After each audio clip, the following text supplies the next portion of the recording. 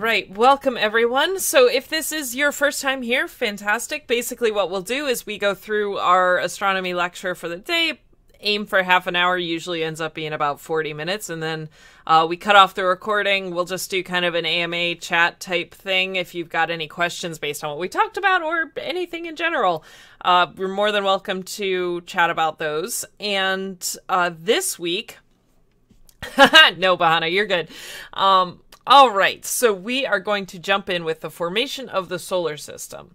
So, oh, hi, Kuro. Nice to have you here. Last week, um, we talked about patterns that we see in the solar system. So, we had talked about you know, we broke down all the planets and then we kind of went into a little bit about like how, you know, just observing it from the outside without necessarily having all those details that we know and love saying like okay well they all orbit in the same direction. They all rotate in the same direction they orbit for the most part. Um, they all are in the same plane. There's four terrestrial planets four jovian planets. Then we have this like belt of asteroids and then this belt of comets on the outside. And then we have our Oort cloud. So we're talking about all these different types of um, patterns that we see. And pluto is a dwarf planet I'm sorry, domestic. Not to call you out, but you keep calling me out, so it works. Um, we have dwarf planets, we have asteroids, we have comets, all of those details, how they're distributed through our solar system. That's kind of what we're going to be talking about today. And then we talked about different ways to explore our solar system. So those being things like um, you know, flyby missions, orbital missions, landers, rovers, uh, and then sample return missions. And we went through some examples. And if you didn't catch it last time, you would be able to, um, you should be able to see the VODs. I realized my toggle for my VODs was like, um, set to subscribers only, which I didn't intend to do. So I apologize for that. Um, but if you've been looking for them before, you can find them now. And then also my YouTube link down below, you can find the recordings too. But we had so many adorable videos. There was lots of emotions last week. Lots of emotions. We're taking a step back from the emotions this week. I mean, still beautiful, but less, um, you know, anthropomorphized, sad robots dying on comets. um, all right, so what we're gonna do is like we're trying to search for the origins of our solar system, not origins of like the universe or life. That's for other classes. Uh, but this week we're talking about our search for the origin of our solar system specifically. Now, uh, the criteria that we need for this is that whatever method we come up with with how our solar system was formed has to fit this specific criteria. Being it has to account for the patterns of motions that we see, it has to account for these two categories of planets that we have, it has to account for this stupidly large number of asteroids and comets and where they are. So, having the asteroids closer to the sun, the comets further away from the sun. And then it also has to allow for the exceptions that we find. So the things like, you know, Uranus is on its side and Venus orbits very slowly and backwards. Um, that we have moons that aren't necessarily in the same plane as the solar system and the bigger moons around their planet. So we have these exceptions that no matter what um, what model we come up with for how our solar system formed, they still have to meet this criteria as well. Okay, so this is something that, you know, people had studied for a long period of time and tried to come up with different hypotheses.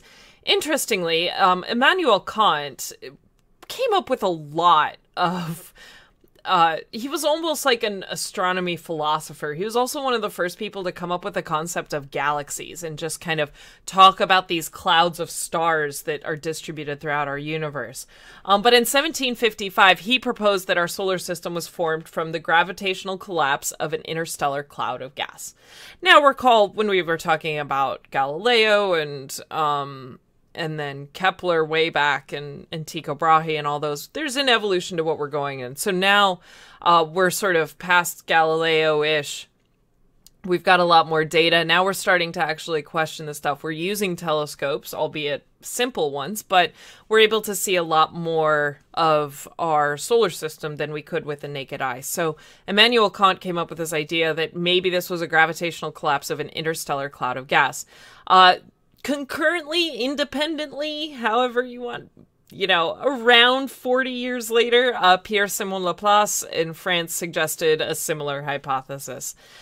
Um, there was a hypothesis that came up in the 19th century, or actually the early 20th century, that said, what if, and this is a little bit bonkers, and I kind of like this, but what if the solar system formed from the close encounter of two stars passing each other and then pulling it apart and basically settling into there, which is kind of cool, and I kind of like it. Um, let me see. I was going to pull up a little more details on this one. Um, so the issue is is that with this close encounter hypothesis that um it's been discarded basically because they could not account for the observed orbital motions of the planets uh, or the neat division of planets into the terrestrial and Jovian. Um, and Bahana, when you mean steady state, do you mean like just kind of how our universe is all settled down, possibly? Um, you know, we had this this close encounter idea is basically these two blobs pass by and then you pull all this material off of each star and then you settle into a solar system. But the main reason actually that this was discarded, not because it was hard to kind of model how the Jovian and terrestrial planets would have formed out of that, but uh, the likelihood of that happening is super low.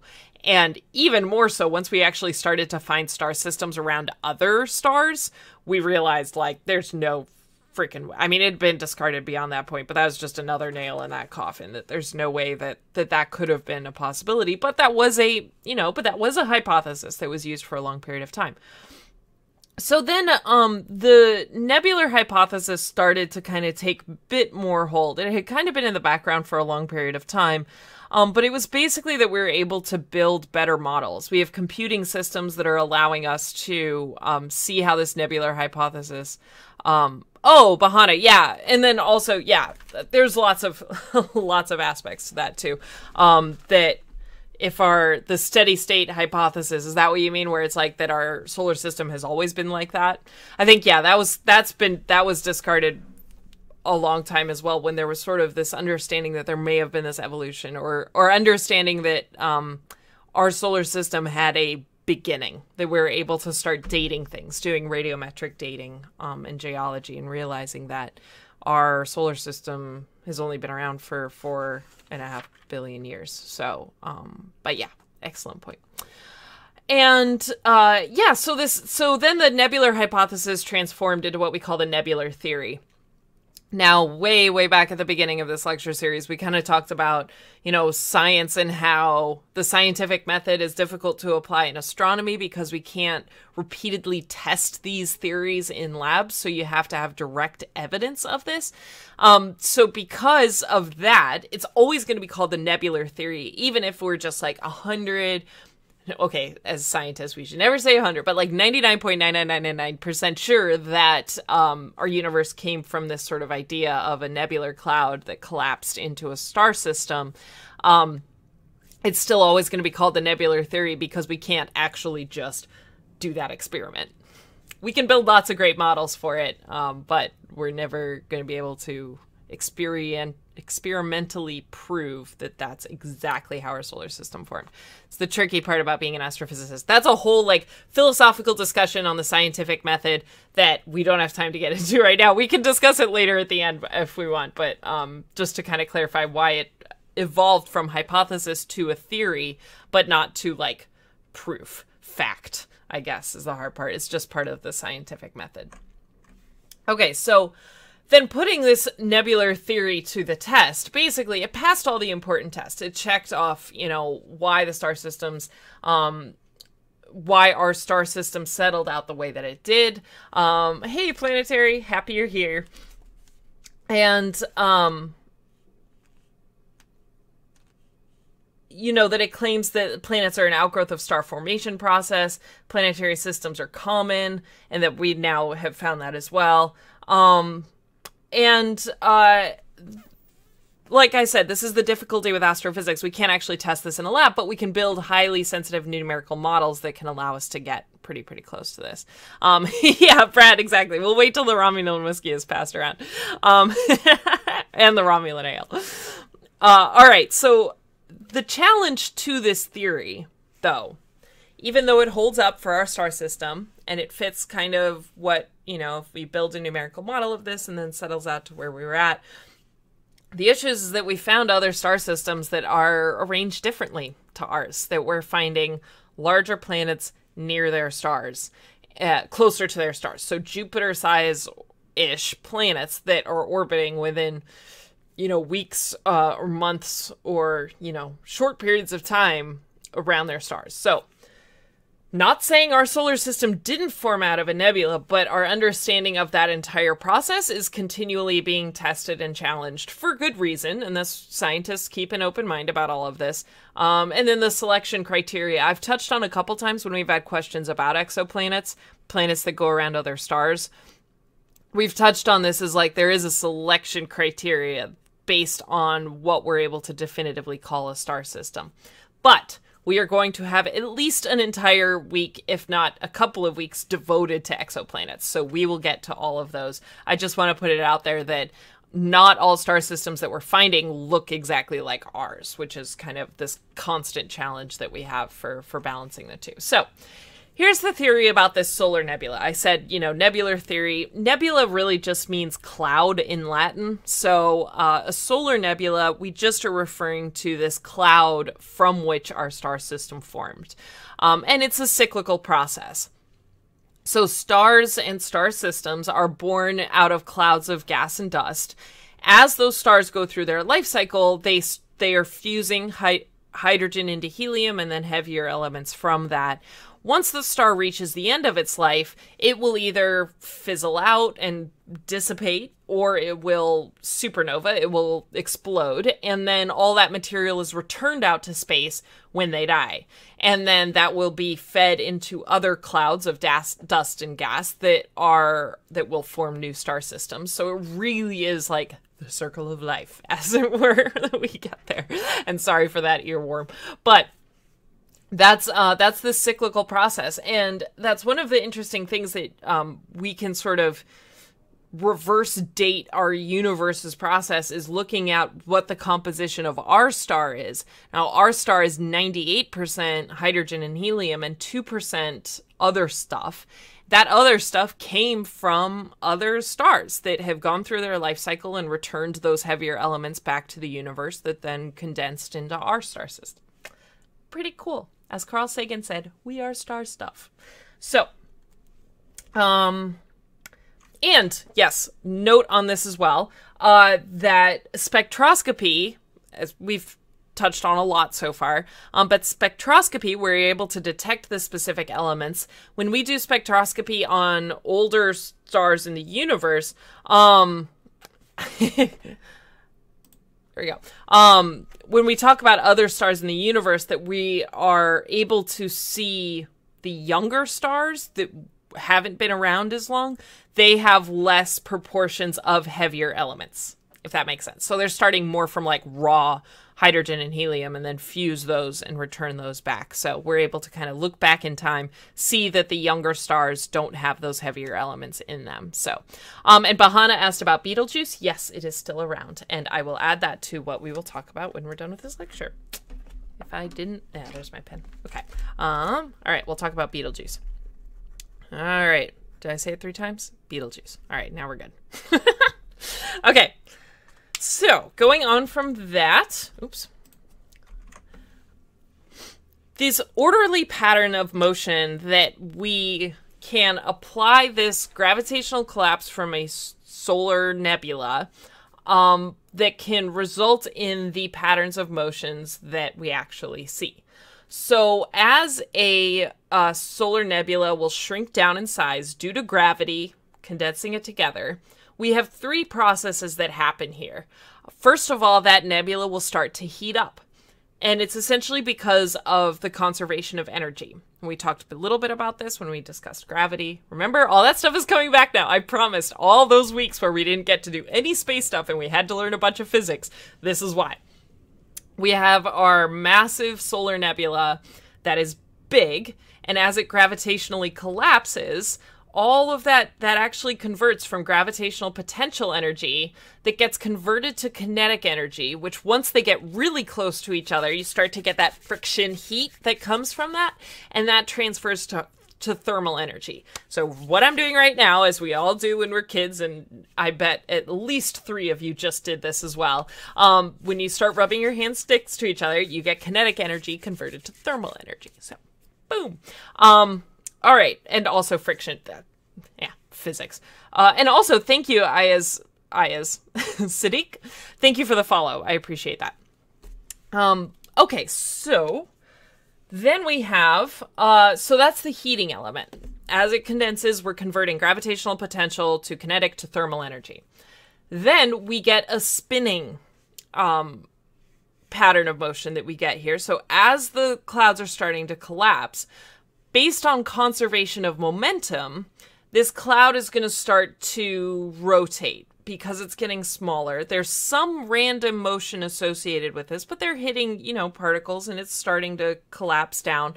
And just like skaters, when they're, I mean, it's a good comparison. When their arms are out and they pull them in, they're going to start spinning faster because of conservation of angular momentum.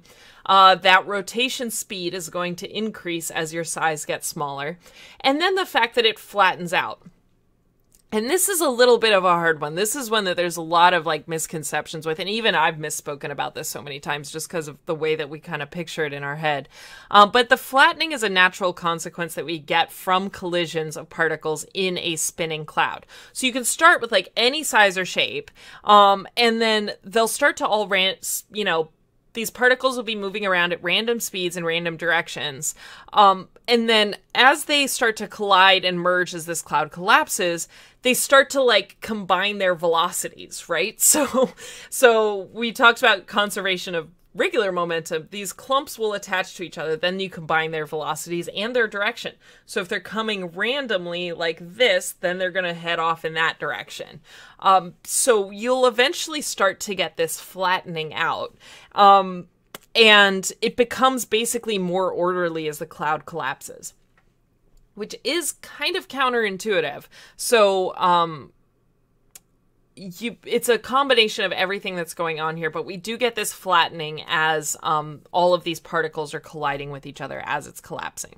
So the formation of this hot spinning disk basically explains most of the patterns of our solar system that we see and then uh, you know, the fact that we talked about as well that the sun rotates in the same direction that all the planets orbit, and most of the planets rotate in the same direction they're orbiting as well. That comes from this disk that's collapsing and then spinning as it's flattening out. So, um, this is just kind of a, a image of we what we have here. If I haven't hand gestured in enough, or if you're listening to this after the fact, um, all those random motions will start to uh, collide and then flatten it out as we go. Okay, so when we test this model, um, what we can, you know, came up with this model for nebula formation, um, started to get a little bit better hold in the 20th century when we were able to build computer models of these things and also start observing star forming nebula. So, regions like the Orion Nebula and Orion's Belt is a star forming nebula, um, but it's like a giant cloud of gas and dust that has multiple star systems forming out of it. But we can see they start with clouds and then we get star systems. So, I've used this analogy before, but like how in astrophysics it's like putting puzzle pieces together, we have this theory for how our star system formed, and now we can actually observe different star systems at different points in their life cycles, and that's exactly what we're able to see. Like I said as well, we can have detailed computer simulations. And then, not to mention the fact that, you know, these flat spinning disks are also what we see how galaxies look and how rings around planets look. All of those kind of indicate that these processes are what happens in our solar system. and and we're back to the space wizards. it's the brim of the space wizard's hat. we'll go all uh, we'll go all you know metaphorical with this here. I like it. All right.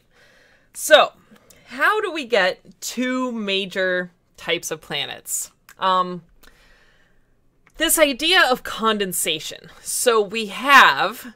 oh, that made me so happy. Um, all right. So now we kind of have our uh, flat, spinning, hot disk. We're good with that. where are the planets coming from? And why are there two major types of planets? Um, so, this idea of condensation we talk about condensation in chemistry class. We understand it from a tactile visual standpoint where you can see clouds convert to rain, convert, you know, all of that. You get condensation outside of your glass when you have colds. Uh, you know, the cold glass is attracting the gases that condense um, because of the different temperatures that we have. right. Also, hi, Dave. Um, the key here is that and this analogy works well for me. If it doesn't work for you, then stick with me. But I do like this idea of the formation of snowflakes in clouds on Earth. If you know how snowflakes are formed, that can kind of help. It's the fact that you get these seeds, right? You start with crystals that condense out and then they start to grow. And that's kind of what happened with our solar system. But the key is is that we have this literally nebula of dust and gas and it's made up of different things, and those different con- uh, compositions condense at different temperatures. We're all space snowflakes. I like that. Um, and I'll talk about the frost line next, but um, if you can see it okay. Sorry, the text isn't coming across super great. Um, but we basically have, you know, over here we have metals, and uh, that would be things like iron, nickel, aluminum, and the condensation temperature for those are hot. So when they form into a solid, you're talking a thousand, sixteen hundred degrees Kelvin. So you'd have to be close to the central area for that to condense out, because that's where the star, um, that's where our the heat from our star is. Oh, thanks for the follow, Malcolm. Uh, and then we get silicates, so we get rocks here. And then we get so 500 to about 1300 degrees Kelvin. So a little bit further out, that's where you start to get that temperature. And then way further out, less than 500 degrees Kelvin, that's where you're getting water, um, water, methane, ammonia, hydrogen compounds that we talk about. That's where they start to freeze out. And then um, light gases, hydrogen and helium, those aren't going to condense in a nebula. And then this has the relative proportions of these that we are seeing from uh, within our our star system. So this is kind of the idea, right? That um as when clouds form snowflakes, that's very temperature dependent. When those crystals are able to fall out and then able to to grow from there. Similar process to what happens in our solar nebula. You have this hot spinning disk, but it's really hot near the center where most of that ga- dust and gas is concentrated, and it starts to dissipate further out that you get from the center. So that heat distribution that we're getting across the disk is dictating which materials are basically crystallizing uh, throughout the uh, throughout the disk. So the ones closer are going to be more like rocks and metals, and the ones further out are going to be more hydrogen compounds. That's where these snowflakes are starting to form, and then they'll eventually, you know, latch onto each other and grow and build up into uh, into planets. Space precipitate. Yeah, there you go. All right. I mentioned this frost line. This frost line is, um, and I want to make sure I, I define it properly. Uh, so the frost line is the distance at which it's cold enough for ices to condense. And again, we have this heat distribution. It's basically settling out. You can say that stars, if it's not a protostar, it's basically a star at this point. But we have our flat disk forming, and there's going to be a line you have that temperature going down as you're heading out, and there's going to be a line where ice will melt here and it will be ice over here. And that's what we call the frost line. Typically used, you know, when we talk about our own temperature and environment here on Earth, but the frost line applies to the star system here. So within the frost line, you have rocks and metals that con- are condensing, but hydrogen compounds like water, ice, uh, are staying in a gas form. And then beyond the frost line, hydrogen compounds, rocks, and metals condense. Now, um, so we're still talking about our solar nebula here. We're getting uh 98% is still just hydrogen and helium gas that can't condense anywhere. It's going to stay in gas form. Uh, but because we have this frost line, and like I said, that distribution that's going out, that's where you get rocks and metals here, hydrogen compounds out here. And that border is essentially the asteroid belt. That's between Mars and Jupiter, is where that frost line would fall. So, uh, the terrestrial planets, you get this accretion that turns into planetesimals, tiny little planets that will start to grow, and then we also get asteroids from that. The Jovian planets, basically, you have these ice crystals that have started to fall out of the um, of the nebula, and then gravity is starting to pull all of the other stuff together. Um, so the gravity is drawing the gas around these ice-rich planetesimals that are formed beyond the frost line. Um, okay, anything about there? So, yeah, I think we're good. Okay, so the star system has formed. We have these planetesimals. Think of them too as like we've gone from the snowflake snowflake analogy, we're going into the snowball analogy. You get a lot of snowflakes hanging out, they're going to start to clump together and if they start falling, like gravity, they'll start to grow and accrete, and that's where you go from a planetesimal to a planet. At the same time, the center of this solar nebula is forming um, a star. So it's, like I said, it's getting hot and dense. It's the highest temperature that's in the center because all of that gravitational potential energy was converted to kinetic energy, which is thermal energy. And that star is getting hot and dense, super hot and super dense. And it's spinning fast. So we have this hot, spinning ball of gas that's happening. And that's where in the center, you get this hydrogen that gets pushed together and fused into helium. That's when our star is born. Once hydrogen starts fusing into helium, the star is born, and you have this hot, dense ball that's been there. Um, what happens at that point then is that we get, you know, the solar wind, this radiation that's coming out from that process. So now it's not just the thermal heat that's happening, it's literal uh, radiation nuclear processes that are happening at the center that are emitting radiation that are then being sent out through our nebula. And that's what's kind of clearing out that central area of the leftover hydrogen and helium. That's just pushing it all away because it's, um, because it's hot and there's a ton of solar wind and it's really you know this is still a very dynamic area so it's it's even more intense than it is now. And all that radiation pushes the hydrogen and helium away and then it will go beyond the frost line and start condensing because it's beyond that frost line. So it starts to condense and gets pulled into Jupiter. So this is still you know it's it's it's important to remember that the sun and the planets are forming at the same time and it's through these processes that we're getting that so we're not saying that all the planets have completely borne out at this point once the star actually forms but it's happening around the same time it's Asdelin, that's a great analogy. It's the one friend at the party loses their cool and everyone just starts backing away. Great analogy. I like that.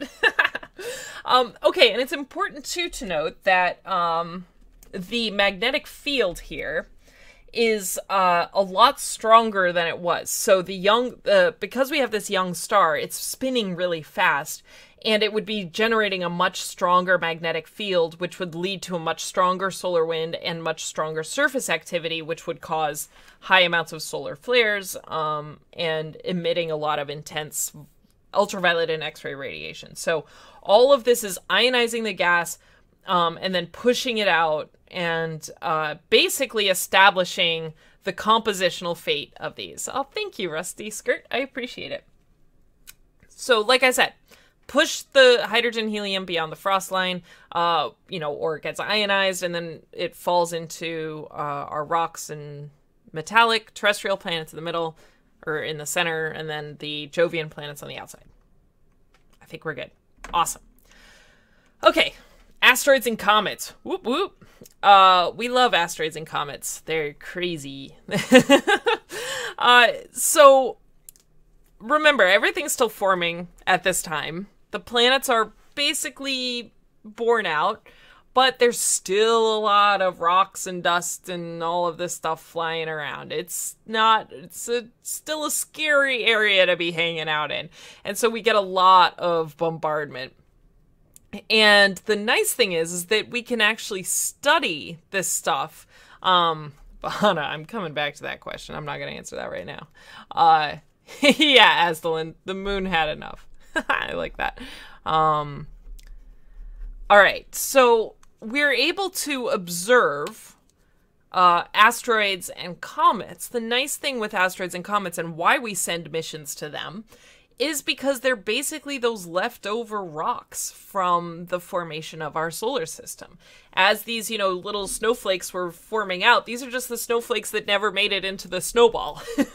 so if we want to see how the snowflakes were formed, we study them. Because the snowballs are now just a hot mess of whatever, you know, happened. Uh, but the original snowflakes, those are the ones that we want to study. And that's exactly what we're doing with the comets and the asteroids here. So that's uh, that's why we study them. That's why it's so important to study them.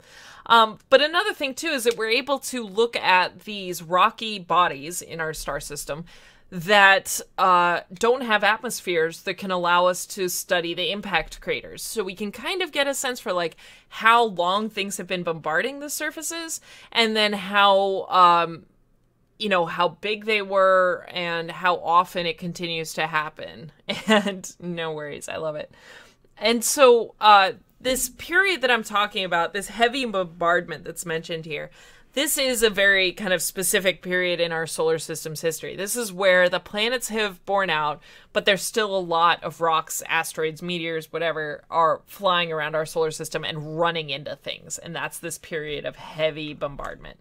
Um, bad stuff is happening and stuff is hitting all the things. I hope that makes sense. Um, an important point as well is that now, if you were paying attention closely, you may have done a wait a second, I'm not sure I caught that right. When we talked about the um, frost line and the hydrogen compounds and the rocks and metal in the inside and then the ices on the outside, like, but we have ice and we have water and we even i mean we've talked about ice being on mercury in those northern pole craters so how did it if it was within the frost line where did that come from? And it's from this period of heavy bombardment. That's where we've seen that like all of these little planetesimals these asteroids these meteors are flying around our solar system running in. They're basically you know the solar system is starting to be fully formed at this point but these rocks and stuff are flying around, they're crashing into the terrestrial rocky planets and basically depositing frozen ice. They're coming from the outside and coming in, and they're protected by the fact that they're now in a clumpy form, and the planets that they're hitting are also in a clumpy form. And uh, so when they hit them, you know they're able to they're able to stay. And they get embedded in those. So that's that's an important point to note as well. But that's still something that is being studied. And that's why we have planetary geologists and why we study um, comets and meteors. So we can understand if that is exactly what happened. The models show that but uh, but we want to make sure. Okay. So uh, how do we explain these exceptions to the rules? Um remember we we talked about these ideas of captured moons that you know particularly jupiter and saturn um, but we can also to some extent talk about phobos and deimos around mars that they don't fit in that flat orbit um, that they're just kind of randomly going around. Jupiter you know jupiter formed and then it has some bigger moons these almost terrestrial type moons that uh, are all in a plane, but then there's a ton that aren't. And so, where did they come from? Aslan, I love it. Um, where did they come from? And it's this idea that they can be captured. So we have these captured moons that happen. But that's not easy. You know, we could talk about that from a gravitational standpoint and say, okay, so we have a planet, we have a little, you know, planetoid here that's coming by, or a little asteroid or whatever that's flying by, it's it's booking it and it's pulled in by the gravity, but it's got a lot of kinetic energy in its own right. So, in order to actually get captured, it has to lose that orbital energy that it already had. And typically, for that to happen, it's going to have to experience drag. So, it's going to have to get close enough to experience some drag from the atmosphere to transfer its orbital energy and lose that to be able to get captured by that planet. But these gas giants are huge and they're giant and so you don't have to get super super close to it to be able to experience that drag and that's how they get captured and, and flung into their their orbits there. Um andy that's funny uh, about those moons. And to be fair, I mean, once we we talked about this a little bit last week too, but with Cassini and now Juno being at Saturn and Jupiter, they're able to actually see up and close how many objects are or orbiting in regular periods would be considered moons, and there's a lot. There's a lot. So yeah, the uh this capturing moons is possible, but it's tricky. And it's why we don't have, you know, half a dozen moons around us, even if they're just small like Phobos and Deimos. Uh, it's because they have to get close enough to actually lose their orbital energy um, close to it. Yeah, Cassini did the death dive. Cassini did the death dive. What, God, like four years ago? Cassini. Three years ago, maybe? Okay, so the other one, Earth's moon. This is our favorite we're going to talk a lot more about the uh, the geology of our moon and the evidence to this, but just to kind of lay the groundwork here, uh, it was a big old impact that happened again, likely during this period of heavy bombardment because the earth may not have been like fully formed yet. It's pretty much formed, but it's still pretty hot and it's still a little bit unstable. And then an impact, likely the size of Mars, big, hit Earth, tore a chunk off. That chunk is captured in the orbit and it starts to you know, again, kind of coalesce, become a snowball, and form into a moon around uh, around the Earth. Um, that's terrifying, but uh, but it also explains why we're tilted about 23 degrees. 23 degrees is not insignificant. So if Earth was kind of happily formed here, something punches into it and tears off a big chunk, but that one that's left behind is kind of tilted a little on its side, and now we get the moon going around that. Um, it looks pretty good. So, um, what would have happened to the Earth if we had two or more moons surrounding Earth? That's a good. Do you mean captured or formed in a similar way? Because if it was formed in a similar way, I, you know, it would not be what we, we would not be standing on it most likely because yeah. And yeah, it's moving slightly away from us. But um so the the strong support, the strong evidence that we have for this giant impact hypothesis comes from two basic features of the moon's composition. Um, the first is that uh, the moon's composition is actually quite similar to Earth, so it kind of seems to have formed from the same stuff. And um, the second one is that uh, the moon has a smaller proportion of easily vaporized ingredients. which is a little bit detailed here. Okay, so what if this we're talking about this heavy bombardment, right? That's when a lot of these waters and ice are being delivered to the inner planets. Now, those are being delivered, Earth is formed, and another giant impact comes and hits it and tears off from it. Well, that giant impact that hit it, any any water, ice, or any sort of easily vaporized materials would be vaporized in that impact, and then it formed from that. And uh, and so the this lack of uh, vaporized ingredients that are on the moon indicate that this likely formed from a high impact scenario, as opposed to them falling out of the exact same cloud, this exact same nebula. Um, I agree, Asdelin. I mean, it's a again, it's scales of time, right? It's scales of time that you know, for us, a few generations seem like a long period of time, but when you're talking about billions of years or even hundreds of thousands of years, it's not that much. Um, but yeah, it is pretty cool. So, Planetary asked, do we still have that mini moon? Not sure what you're referencing. Maybe? I feel like there's something in the back of my brain where I knew about this. Um, and then yes, buy one. That's yes, agreed. So water on the moon. We have found water ice of some form. Um compounds, not that much.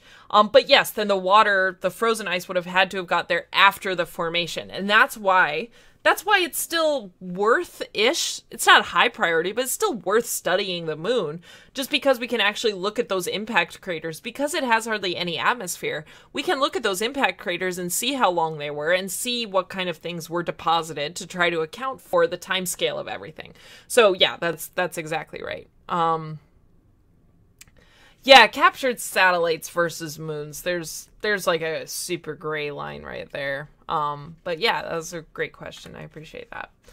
All right, and like I said, we're going to talk a lot more about the moon when we get into the geology of our planetary system. So, other exceptions here that um, are most likely that are most likely due to the heavy bombardment, high impact events.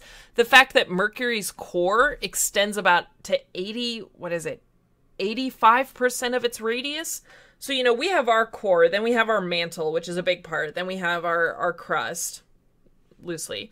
Mercury has like a core and then a little crust. and so the question is is like during this bombardment, Mercury may have been blasted and blew a lot of the outside layers away from it. Um and uh, it could also have explained why Uranus is on its side. Massive impact, tipped it on its side. And then another one is why Venus is slow and in backwards rotation orbit, that it's basically pummeled it, slowed it down, and actually ended up reversing it. no, sorry, Andy, it's not liquid, it's solid. So I'm talking about the solid iron, not the magma portion of it, but just literally solid, uh, solid metal in its center uh, goes to 85% of its entire radius. So, yeah, thank you for the clarification. Um, how do we know about Mercury's core? That's a great question. So we can do we can do some level of radar imaging um, that can go to that like slightly subsurface level.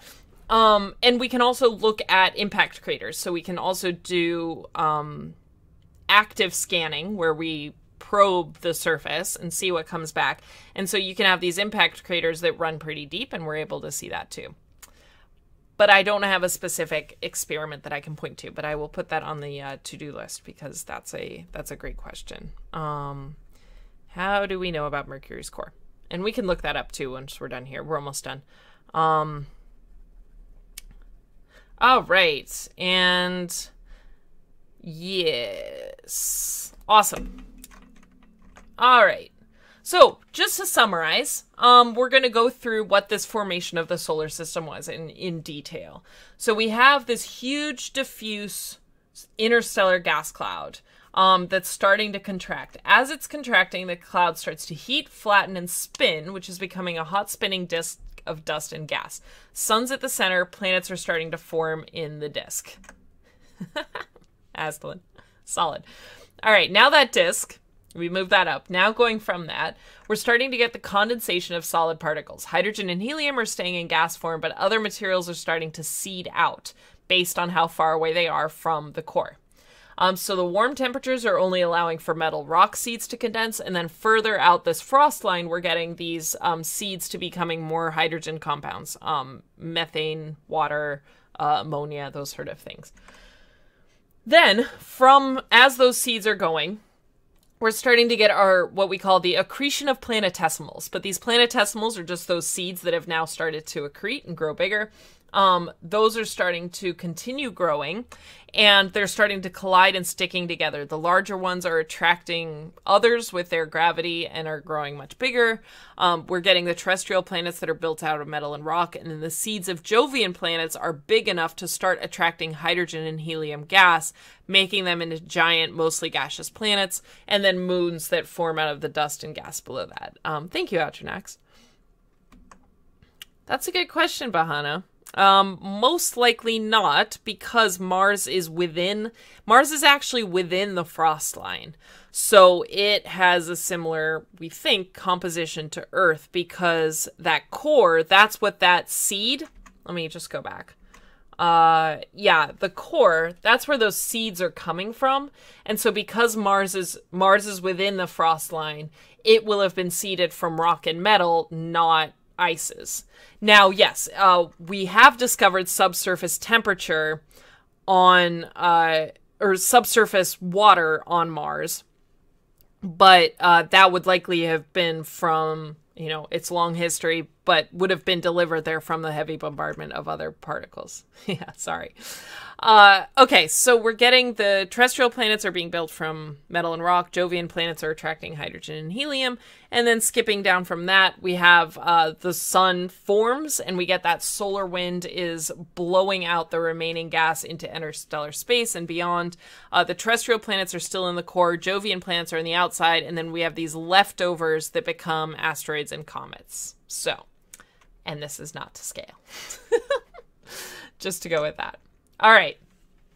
So that's it for this. Uh, next time, we're going to be talking about how we know the age of the solar system.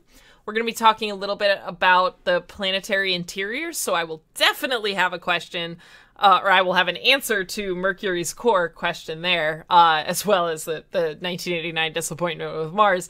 Um, and then how the planetary surfaces are formed. So we're mostly going to be focusing on planetary geology of the terrestrial planets next week.